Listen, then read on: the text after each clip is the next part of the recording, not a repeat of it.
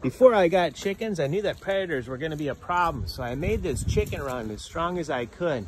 That hardware cloth goes down a foot below the ground. But one day there was a thunderstorm and this automatic door closed early and the chickens were trapped in the run. And a raccoon came along and he found this one spot right here and popped the wire open and climbed in.